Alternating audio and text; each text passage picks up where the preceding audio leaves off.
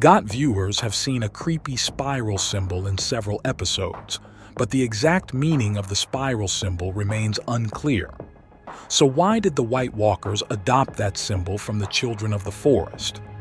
In various cultures, spiral symbol has seven aspects which are connectivity, transformation, balance, cycles, journey, growth, and cosmic order.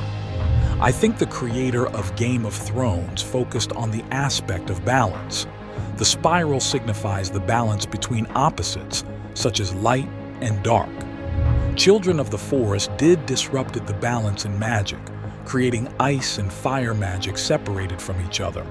So White Walkers are using the symbols because their mission is to get back to that state of peace and harmony.